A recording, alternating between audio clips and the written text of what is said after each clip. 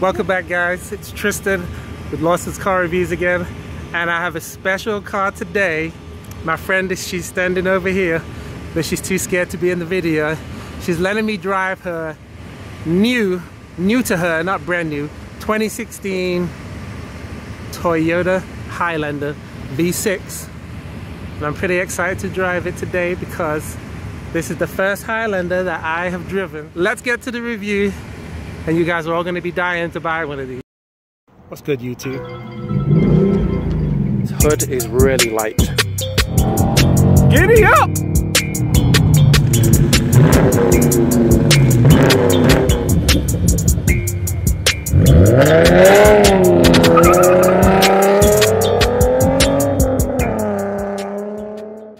You got this pretty new design, new headlights.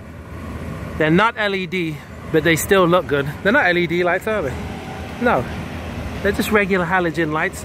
This model does not come with fog lights because it's not the limited, but it still has an awesome view from the front. And you got this beautiful black paint and the 18 inch wheels. And you do have the side markers, if you can see, they have the indicators on there and I don't know if you can see but you do have the can't get it on camera. It's really hard. You got little sparkly flakes in the paint but the sun's too bright to see it. And then you have the side profile. Highlander is the smaller of the Toyota SUVs the 4Runner is a little bit bigger but it is a small three row SUV and it does have the all-wheel drive see look the car's so new she doesn't even have the temporary plate off of it yet. Which means she hasn't paid for her personal property yet. And here here is a uh, jack in the box that just pops out of the trunk here. But the trunk is a good size. As I said it is three row. So if you pull this up you lift the headrest.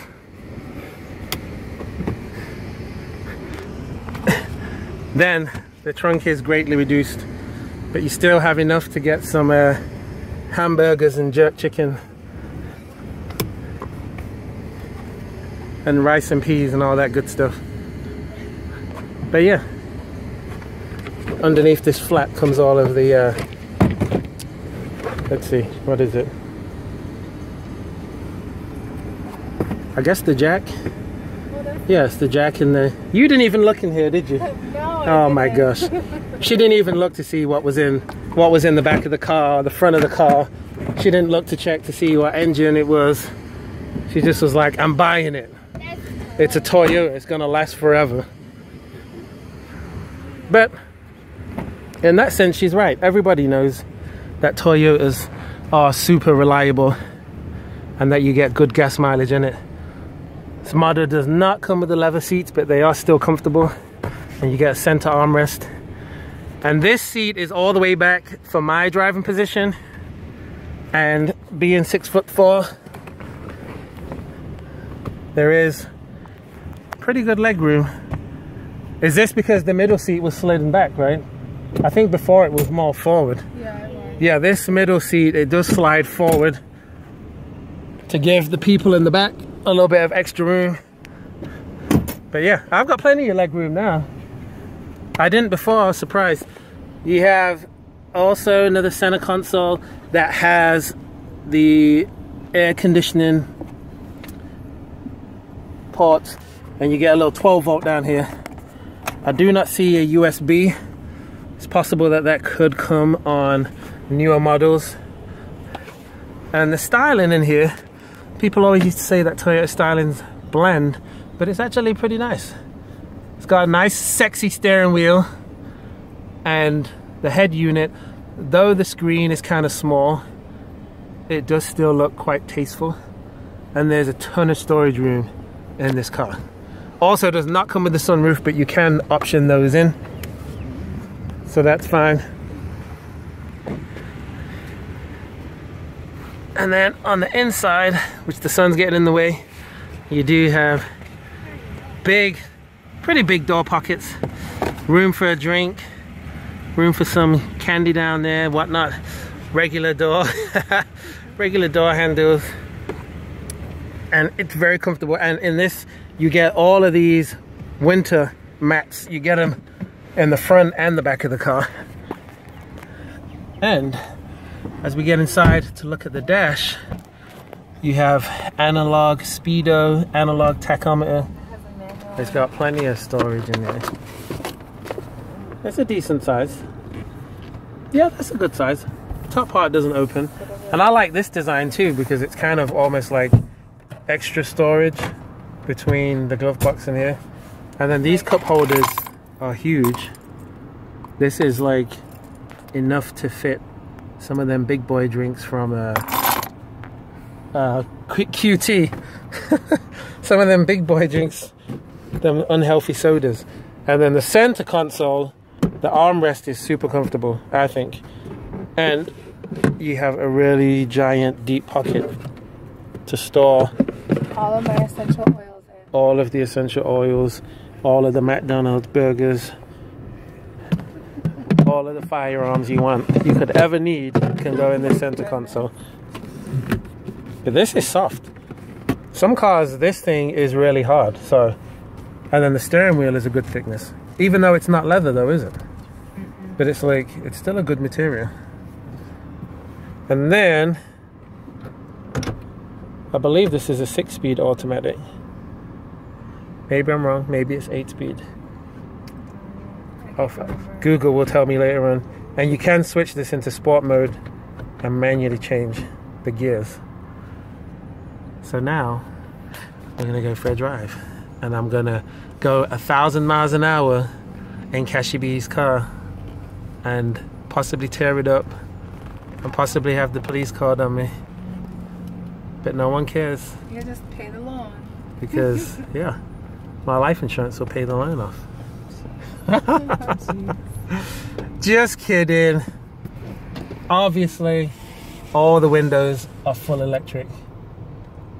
And it does not, which I am surprised about this, it does not have heated seats, right? And I figured that all of them would come standard with heated seats, but that cooled seats would be like the extra option. But you get surprised every day, so there you go. But it does drive super smooth.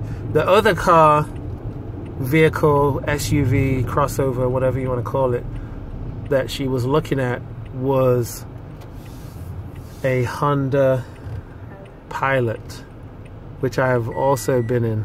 I didn't drive it, but I was in it quite often. And I do know that it is very smooth, but this is very comparable.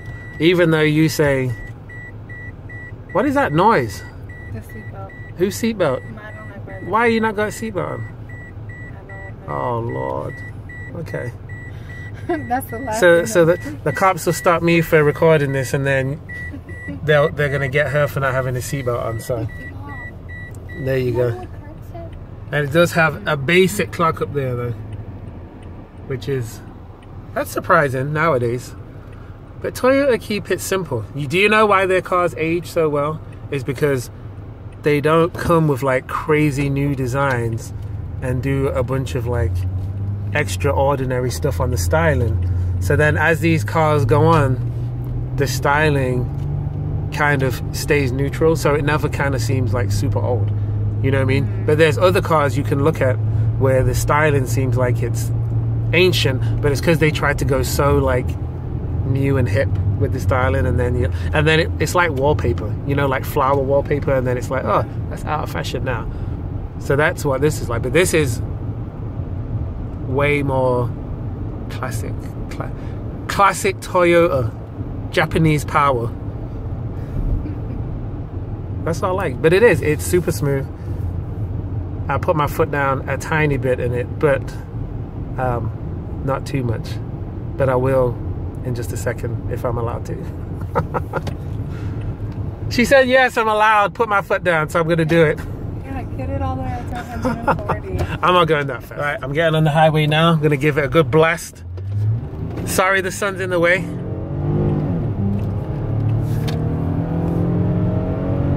There we go, 60.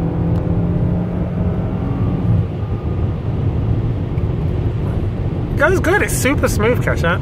I don't know why you're still worried about the pilot. Because you haven't, you didn't test drive it. You didn't test drive it. Maybe, but you know what? I'm gonna test drive the pilot just to compare the two of them.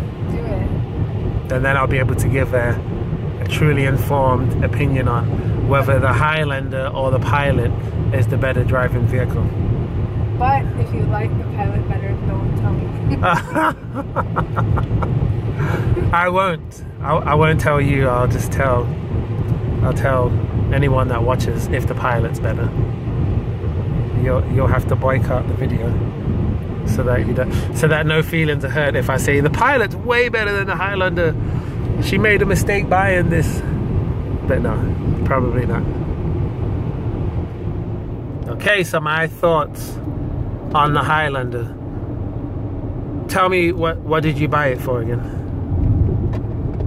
because I didn't want to put a $300 windshield in. No, no, no, no. I'm saying what was the final amount that um, you got it for? 23488 23,488. So, yeah, in conclusion, I would say for 23,488, you got a really good car because it drives good, it drives smooth. You can tell that it's well built, it's solid, and you can also see that um, it's going to last a long time, like most Toyotas. My mum's had two Toyotas, and both of them really didn't give her any trouble, and she drove them to death. And most cars, you can't do that with, and that's why Toyota and Honda sell so well because old people like to buy them because they don't like to mess with fixing cars all the time. Right. And now that you're old, so you fit into that category, you had to get a Toyota.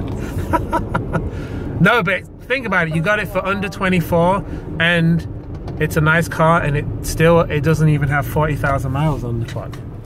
So there's plenty of cars. You know, you can get like a Ford Fusion that, um, I mean, it's okay, but it's like a little car, and some of those cost 40,000. You know that? Yeah. And I know that the sun is right in my face too, but I don't care. You gotta do what you gotta do. I can't pick when the sun comes up, comes down. You I can put I can put my head in the way like this and then it blocks the sun, but Yes. it doesn't matter. They get to see my pretty face with the sun and without the sun. Sorry. But honestly, I would buy one of these or the pilot if we didn't have 18 kids and need the minivan. Okay, I am gonna give one knock, one ding on my friend's car here, which it does. For the radio, it's not too bad to have this little itty bitty um, screen, but when you use it for the backup camera, the screen is a little bit too small, and it's kind of a, it's kind of on the grainy side. However, yeah, I guess it doesn't. Uh, it does not have trajectory either, so I guess it just backs up straight. But at least you get a backup camera. So there you go. It could be worse. You could get no backup camera. But other than that, I like the simplicity of this stuff. Because there's too many. There's, there's some radios like there's an Audi I drove where everything was like it was too many buttons, so it made it too difficult. So the simplicity of Toyota radio is actually a good thing.